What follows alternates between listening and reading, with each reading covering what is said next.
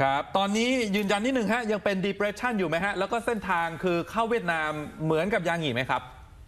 ตอนนี้เมื่อเจ็ดนาฬิกาวันนี้เป็นพายุโซนร้อน เรียบร้อยแล้วครับอื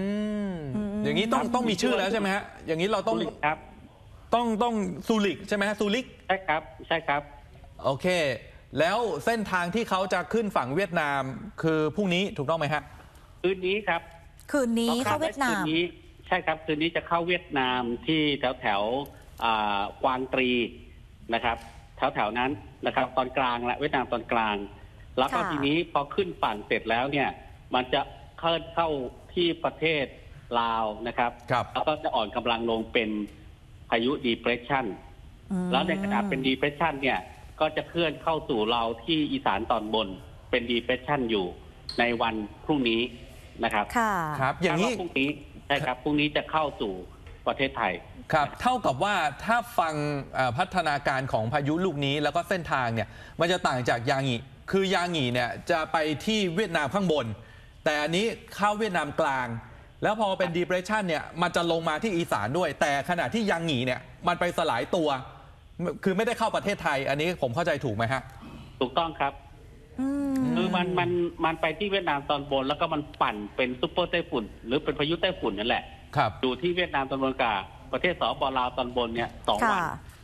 จากนั้นมันจึงยุบลงในขณะที่ศูนย์กลางมันก็ยังอยู่ที่เดิมแหละ อ่อนลงเป็นพายุ depression แล้วก็หลังจากนั้นขึ้นตัว แล้วก็เป็นหย่อมความกดอากาศต่ำกำลังแรง แล้วจึง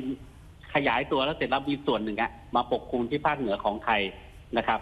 ค่ะ เมื่อช่วงวันที่ 8 ถึงวันที่ 10 ค่ะกันยาที่ผ่านมานะครับสามวันค่ะแต่พายุลูกนี้เนี่ย มันไม่ใช่ไต้ฝุ่น มันเป็นพายุโซนร้อนที่อ่ามัมันเกิดห่างฝั่งเวียดนามไม่ไกลนักนะครับ ระยะระยะเป็นโซนร้อนไม่นาน เดี๋ยวก็จะอ่อนกำลังลงเมื่อขึ้นฝั่งนะครับอืมก็เป็นดีเวชั่น แต่ประเทศไทยเนี่ย เราจะได้รับผลกระทบจากดีเ e ชั่นเนี่ยเป็นประจำนะถ้าเกิดมีพายุเข้ามาโซนร้อนเนี่ยน้อยนะครับ หลายๆ ปีจะมีสักลูกสองลูกเท่านั้นเองนะคค่ะรับพายุดีเพรสชันนี่แหละ การเคลื่อนตัวของมันก็ความเร็วอยู่ประมาณ 10 ถึง 15 กิโลเมตรต่อชั่วโมงนะครับ ก็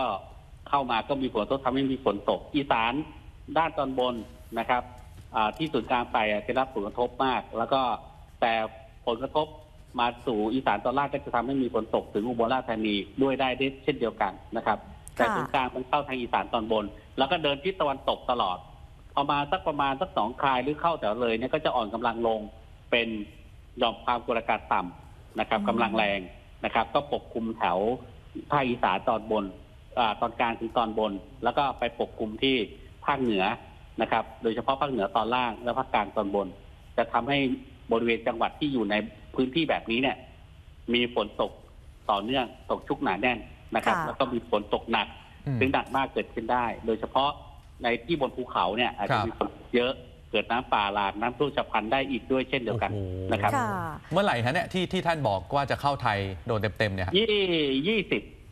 ยี่สิบพรุ่งนี้ยี่สิบยี่สิบเอ็ดใช่ครับสองวันอ๋อสองวันคือสอพรุ่งงวันนี้แต่ว่าผลผลกระทบจากหย่อมความกดอากาศต่ำยังต่อเนื่องไปนะยี่สามยี่สองยี่สามก็ยังมีผลกระทบอยู่ โอเค ค่ะ ขนาดตอนยางหงีอะค่ะ แค่มาดึงลมของประเทศไทยฝนยังเยอะมากเลยเกิดอุทกภัยหลายพื้นที่ แต่รอบเนี้ยนะคะ พายุซูริก ที่จะเข้าประเทศไทยวันพรุ่งนี้ ตอนเข้าประเทศไทยเป็น depression จะเอาน้ำมาเยอะไหมคะ ความเสี่ยงจะมากกว่าตอนยางหงีเยอะไหมคะท่านคะ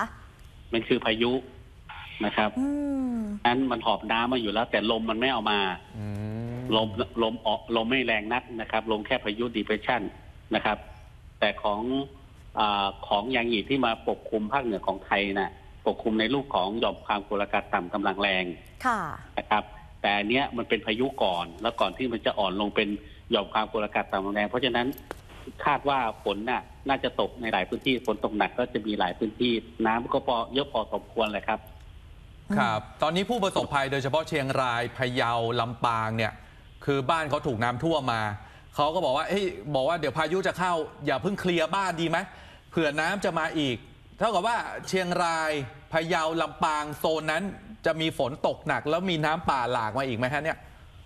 เอ่อในบริเวณที่เส้นทางพายุเคลื่อนผ่านก็คือภาคเหนือตอนล่างภาคกลางตอนบนเนี่ยไอ้ตัวเนี้ยโอเคมีฝนอยู่แล้วไอ้ต้นอื่นก็มีเหมือนกันภาคเหนือที่ส่วนที่ไม่ได้อยู่ในภาคเหนือตอนล่างในยภาคส่วนตอนกลางกับตอนบนเนี่ยมีฝนตกนะครับ แต่ความอ่ารุนแรงอะมันไม่เท่ากับเส้นทางพายุเคลื่อนผ่านนะครับค่ะโซนหนองคายบึงการนครพนมล่ะคะ โดนไหมคะ อันนี้โดนอยู่แล้วครับ อืม แล้วโดนน้ำอยู่รอบแล้วเก่าก็สถานการณ์ดูเหมือนจะยังไม่คลี่คลายมากนักเลย ก็น้ำลงไปน้ำโขงนะครับ อืมครับ หลังจากผลกระทบที่ท่านรองบอกว่าพอเป็นหย่อมแล้วก็ทำให้ฝนตกยาวๆ ไปจนถึงประมาณ 23 กันยายนเนี่ย หลังจากนี้ฮะปลายกันยาเข้าสู่ตุลา จะมีพายุมาอีกไหม หรือว่าจะมีปัจจัยอะไรที่ทำให้ฝนตกอีกไหมฮะอ๋อโอกาสที่จะเกิดพายุในทะเลอะในทะเลจีนใต้หรือว่าภูหาสุด ปาซิฟิกยังคงมีอยู่นะครับ เพราะว่าเดือนกันยายนเนี่ยถือว่าเป็นเดือนที่มีพายุชุกชุมที่สุด เกิดมากที่สุดนะครับ แต่เราต้องดูว่าถ้ามันเกิดขึ้นแล้วเนี่ย มันมีตัวไหนไหมที่จะเคลื่อนเข้ามามีผลกระทบต่อประเทศไทย มันไม่ได้เคลื่อนมากระทบทุกตัวนะครับ บางตัวก็เลี้ยวโค้งไปทางอื่นครับไปทางญี่ปุ่นไปทางอะไรพวกนั้นนะครับ แต่ถ้าถ้าเข้าสู่ทะเลจีนใต้ก็ต้องดูว่าการเคลื่อนตัวมันมาไงจะมีผลกระทบไหมบางที ถ้าเกิด ที่ทะเลจีนใต้ตอนบนมันก็เข้าจีนตอนใต้ มันก็ไม่มาเรา แต่ถ้าเกิดที่ทะเลจีนใต้ตอนกลางเนี่ยหรือตอนล่างมันก็เข้ามาเราเนี่ยก็มีผลกระทบนะครับ แต่ตอนนี้ยังไม่มีเกิดขึ้นครับ แต่ว่าอ่าฤดูกาลของมันน่ะมันย่อมมีเกิดขึ้นได้เสมอนะครับ ครับชุกที่สุดคือเดือนนี้กันยายนนะฮะใช่ครับครับผมวันนี้ขอบพระคุณครับ ท่านรองอธิบดีกรมอุตุนะฮะท่านธนสิทครัธิ์บเอี่ยมอนันต์ชัยนะครับขอบคุณมากครับ ครับสวัสดีครับครับ ก็เท่ากับว่าอีสานบนกลาง เหนือตอนล่างกลางตอนบนจะได้รับอิทธิพลจากพายุลูกนี้คือ depression นะฮะ ซึ่งจะเข้าประเทศไทยเข้าอีสานอย่างที่ผมบอกไปเนี่ยในช่วงวันพรุ่งนี้แล้วก็จะอยู่แช่ๆ ไปจนถึงประมาณ